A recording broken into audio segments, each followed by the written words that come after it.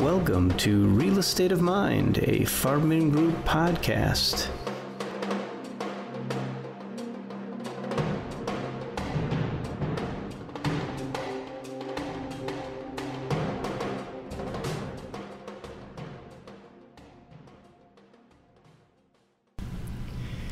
Welcome to another episode of Real Estate of Mind. I'm Andy Gutman, and this is one of our new segments entitled Tenant Talk. And we're going around talking to the wonderful groups that are within our buildings. Uh, today I'm out at 111 East Wisconsin, the corner of Water in Wisconsin and Milwaukee, uh, basically Main and Main in downtown Milwaukee. And uh, I have the good fortune today to be talking to Greg Herman of Loeb and Herman uh, in our building. Uh, Greg has been here since, well, Greg has not. His company has been here since 1962. Something like that. And uh, Greg is far too young for that, but uh, welcome to the show. Thank you, Andy. Pleasure to be here. And thanks for being here. I thought we might start off today just talking about your firm. Uh, tell us a little bit about what you do and what you like best about it. I appreciate that. Our firm is, uh, was started around 1962 when uh, Leonard Loeb, whose name is still on the firm, unfortunately passed away a few years ago, but I'm sorry. uh, treasured his uh, uh, partnership with me for uh, uh, so greatly and um, decided that um, uh, family law was a distinct area of practice and should be handled by itself without practicing any other areas, and it was a specialty area. And so we started the firm then. Um, I joined it in 1984, and we're a small boutique firm. We um, uh, practice only in family law, which is primarily divorce. I'm uh, one of the few lawyers in Wisconsin that's a board certified specialist in family law, and we are a firm that really tries to do very high quality work and give very high service to our clients, which in this field means trying to resolve cases. And divorce lawyers sometimes have a bad reputation, and people think that we're out fighting uh, and creating conflict, and actually the opposite's true. We try to work very hard to try to resolve issues and cases and help our clients. And that's such an important thing in what you do. Is I, I liked um, one of the things that you said when when you and I were just talking off microphone a few minutes ago was that you know it's more important to take on cases and give them uh, more attention, take on the right cases that uh, that are beneficial, where you know there's a positive outcome, and uh, and really put in more. I kind of view it as the Jerry Maguire methodology of dealing with clients, where better service, more quality time, not not volume based. You're not churning and burning clients. You're really taking the time to get to know them and take care of their needs. I thought that was really special. And, and we try to do it in a sense of looking uh, after our clients on an individual basis, what works best for them. Our, our motto here, which uh, uh, Mr. Loeb, uh, Leonard Loeb was the one who uh, said this originally, is our uh, goal is to get the best financial results we can for our client without creating or adding to the degree of animosity that would keep them from walking down the aisle together at their children's weddings. So we, we try very hard to work in that setting because you know it's it's one thing to get good financial results for your client, and I'm not sure lawyers are doing any service if the two parties hate each other afterwards with such a ferocity that they keep fighting in the future. That is so true, and it's a difficult thing to do. I would imagine to get them to that point. It is. It is. It's a lot easier just to, to be a blind advocate and uh, uh, go to war. Uh, but actually, the results are better if we treat people with respect, with kindness, and I call it using brains rather than brawn, and try to figure out solutions to problems rather than add to them. That's what we pride ourselves on doing.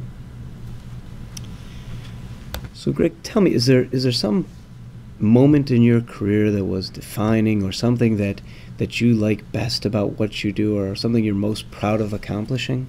Well, I'm fortunate I work in a firm that's encouraged uh, to get involved in various uh, bar association activities and activities within the practice of law where we're trying to actually improve the practice, not just represent clients, which is important and pays the bills.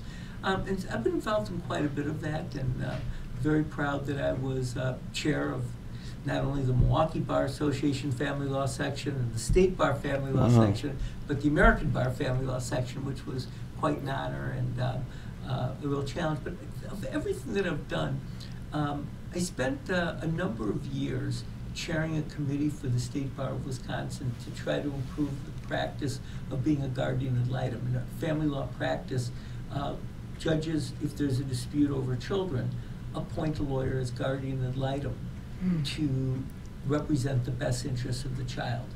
And for a number of years, working in concert with some colleagues, um, we spent uh, quite a bit of work trying to improve the practice of guardians ad litem through various rules and regulations and training requirements.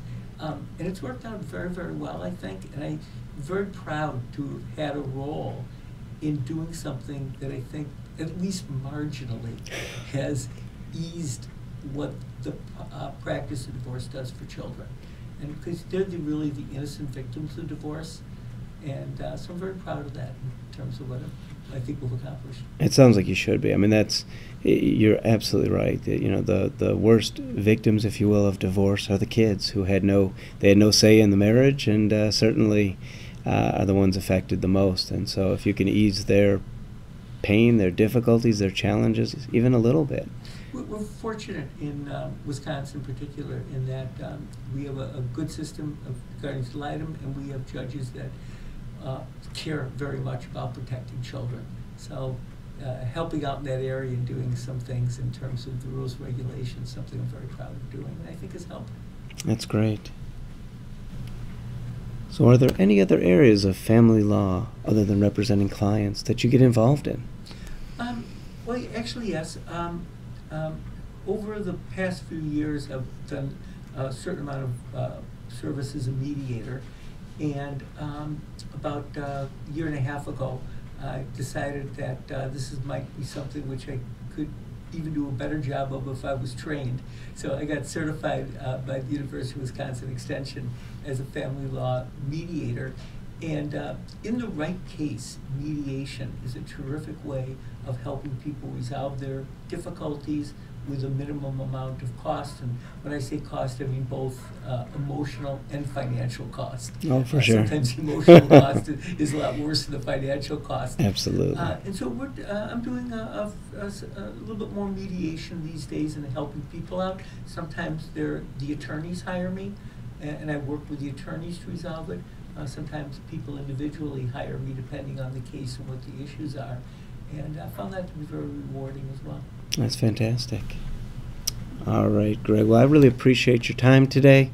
I know you got to get back to servicing the clients, uh, but if any of our listeners want to learn how to get a hold of you, what's the best way to reach you for their needs? Our phone number is 414 272 5632.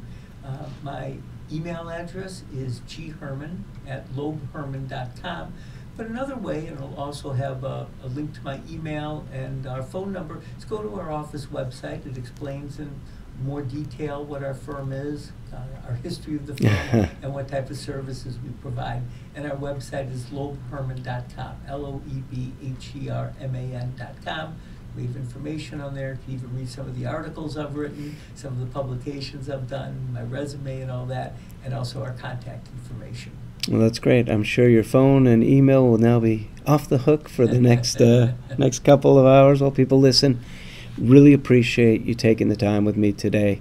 Uh, thank you for your decades of tenancy, and we really appreciate it. Look forward to many more, and uh, I look forward to hearing you on the radio with this. Thank you so much, Andy. Join us next time for another wonderful edition of Real Estate of Mind, a Farbman Group podcast.